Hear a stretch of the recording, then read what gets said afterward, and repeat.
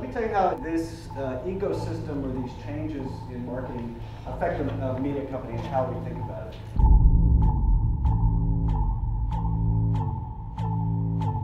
We've been talking about mobile, and is this the year of mobile for the last five years? We had to redo everything, packaging to the website to the sign on the building. It's almost impossible to cost what it was. I'm sure it was approaching a million dollars.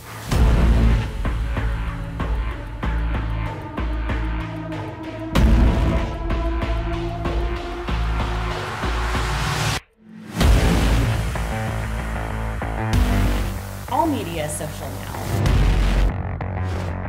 How do we look at this when you're actually looking at a marketing mix model? But what about the dollars, right? That's what we really care about.